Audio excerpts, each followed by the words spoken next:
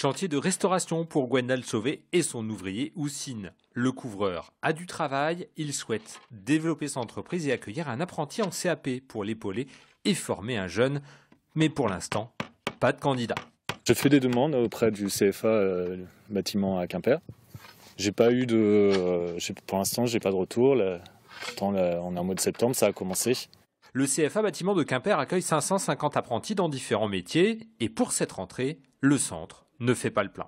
Alors aujourd'hui, on a 76 entreprises qui sont en recherche d'a- d'apprentis. Certaines filières sont, j'ai envie de dire, presque en urgence absolue. On a la couverture, on a 18 entreprises qui euh, aujourd'hui attendent des apprentis. Pour Alexandre, Flora et William, l'apprentissage, c'est la voie royale. Flora, après avoir tenté un bac général, entame sa deuxième année de CAP peinture avec bonheur. Je pense que c'est le meilleur choix que j'ai pu faire de jusque-là. En fait, ça m'a appris tellement de choses. En fait, ça m'a appris euh, à être plus moi-même, à être libérée. Et Je pense qu'à la base, si on m'avait proposé euh, l'apprentissage en troisième, j'aurais pas fait mon bac déjà.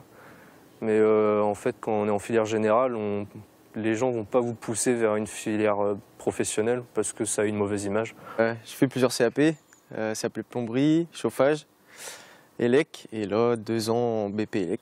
Parce que souvent, les plomberies et l'élec, ça, va, ça se marie bien ensemble. Des entreprises qui font les deux.